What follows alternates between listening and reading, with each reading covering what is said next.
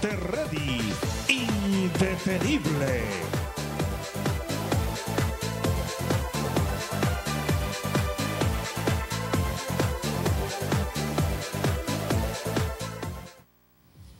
Mira, cuando la gente no sabe qué hacer con las personas envidiosas, hay problemas.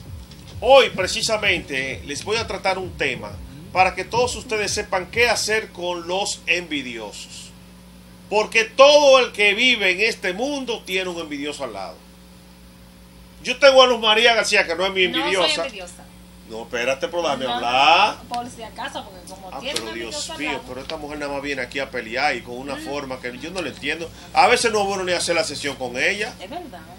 Ay, En tu casa no hay envidioso, por tu casa. ¿Lo digo normal o como tú lo quieres? No, yo no sé cómo tú lo sientas. Pila. Entonces, ¿verdad? Porque tú estás al lado mío y yo tengo muchísimos envidiosos. Bastante. Claro que sí, todos. Todos tienen envidiosos. Pero lo que usted no sabe es cómo usted enfrentar a los envidiosos. ¿Verdad? Yo voy a enseñar eh, a todos ustedes qué hacer con la persona envidiosa. Cuando la persona envidiosa que nos envidia forma parte de nuestro círculo cercano de familia o amigos, es más complicado. No sirve de nada confrontar al envidioso, alegando que se comporta de tal manera a consecuencia de su envidia, porque lo más probable es que niegue que es así. La actitud más conveniente es mostrar indiferencia hacia sus comentarios y reafirmar nuestras opiniones, decisiones o lo que se ha atacado. Sentirnos orgullosos de nosotros y no dejar que penetre esa maleza en nuestro autoestima.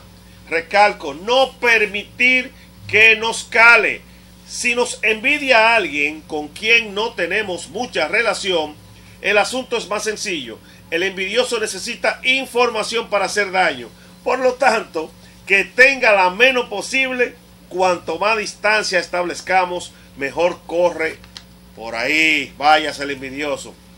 Ahora bien, cuando vayamos a tratar a un envidioso, recuerden que mira bien, ya tenemos un problema menos cuando eliminas a un envidioso. La envidia es algo que siempre estará ahí. No hay ni que planteárselo a la persona envidiosa.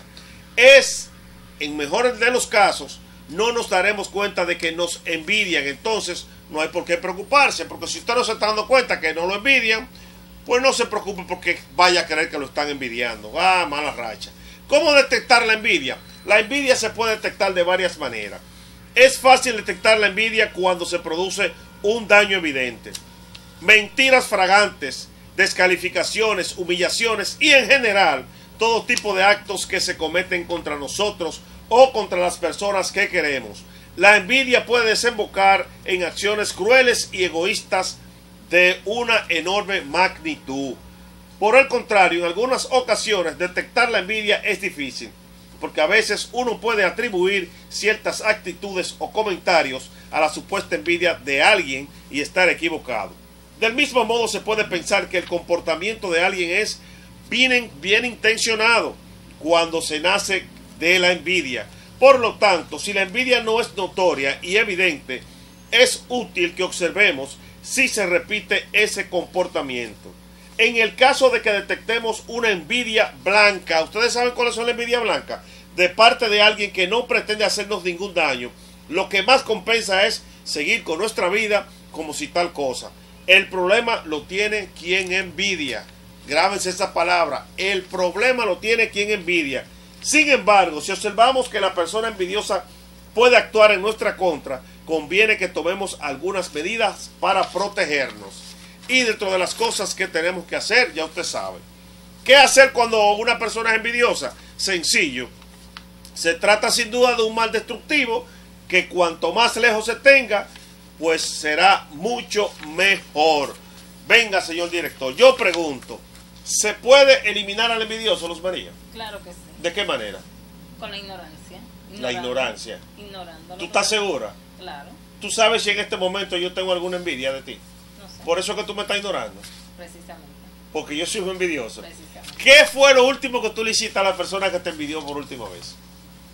Atrévete a Es que No me decirlo. di cuenta porque realmente no estoy pendiente, no estoy ah, No, no estás al tanto. No, no, no le estoy prestando atención a ese tipo de personas. Eso es lo que hay que hacer, señores. Evitarse que el que está envidiando, uno se dé cuenta e ignorarlo.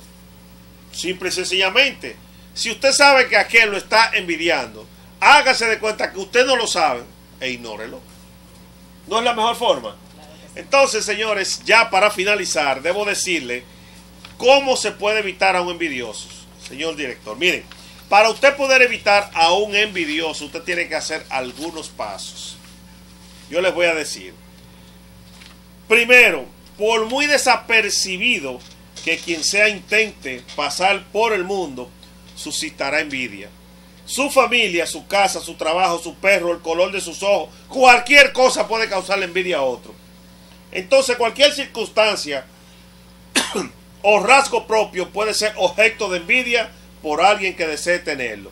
Y cuando más se relacione a una persona, las probabilidades de suscitar envidia tendrán mucho menos eficacia. Así es que ya usted lo sabe, señores, trate de evitar a las personas envidiosas que les rodean y sobre todo cómo enfrentarla. ¿Verdad que sí, Luz María? Claro, porque hay veces que por cualquier sencillez puede haber un envidioso.